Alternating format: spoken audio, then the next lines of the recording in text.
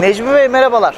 Merhabalar. Hoş Nasılsınız? geldiniz. İyisiniz? Hoş bulduk. Çok şükür hamdolsun. İyiyiz. Sizler nasılsınız? Şükürler olsun bizler deyiz. Ee, biz çok teşekkür ediyoruz öncelikle sizlere. Ee, bizleri burada misafir ettiniz, ağırladınız. Çok sağ olun, çok teşekkürler. Eyvallah. Eyvallah.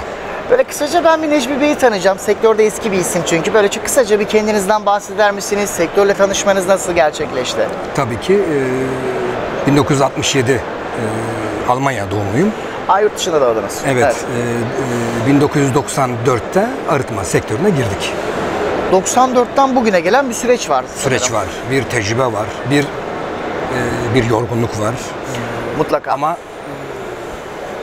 güzel bir yorgunluk. Evet 30 seneye gidiyorsunuz. Gidiyoruz, evet. Neler yapıyoruz peki Tor Makine'de? Yani kaç yılında kurdunuz? Verdiğiniz hizmetler nelerdir peki? İşinizi anlatır mısınız bize? 20 yıllık bir geçmişimiz var e, makine üretiminde. Evet. E, bunun yanı sıra yeni teknolojileri e, takip ediyoruz. Evet. Artı yine e, firmamızda 2000 senesinde bez sektörüne de girdik. Yani filtre bezi sektörüne girdik. Biraz açabilir miyiz burayı peki? Burada e, bizim gördüğünüz gibi Evet. bezlerimiz var. Bunlar tamamen e, yurt dışında imal ediliyor. Çünkü Türkiye'de böyle bir imalatı yok, dokuması yok. Evet. Bunları sektörlere göre e, biz üretiyoruz burada, dikiyoruz Evet. ve bunları müşterimize öneriyoruz. Evet. O prosese göre Ayarlıyoruz. Ayarlıyoruz. Ne güzel üretim yapıyorsunuz bir kere. Tabii ki Bizim üretim, mesela üretim devam. ülke olarak üretime de ihtiyacımız var. Mutlaka evet. Yani bunu söyleyebiliriz. Evet. Net bir şey. Bu başarınızın sırrı ne? Bu istikrarın sırrı? Ya dile kolay. Ya 94'ten beri ayaktasınız. Tecrübe, Çok kolay olmasa gerek. Çalışmak, Çalışmak. e, çalışmak. Ben şunu da hissettim. Röportajdan önce biraz sohbet ettim. Siz, siz bir kere e, mesleğinizi de çok severek yapıyorsunuz Severek ama bence başarınızın en büyük sırrı bu. Evet. O amatör ruh deriz ya onu hiç kaybetmemişsiniz. Tabii ki bir insan bir işi severek yaptığı zaman başaramayacağı hiçbir şey yok. Her iş böyle aslında. Her işte aynen. Bir sevmediğin zaman o bir yere kadar gider. Bir yerden sonra durur bu. Evet. Fuar nasıl geçiyor? Biz özledik fuarları, Vallahi gelemiyorduk. Bugün e, birinci gün. İlk günümüz. E, genelde yabancıları çok görüyorum. İranlılar var. E, İnşallah e, ileriki e, günlerde daha da iyi olacak.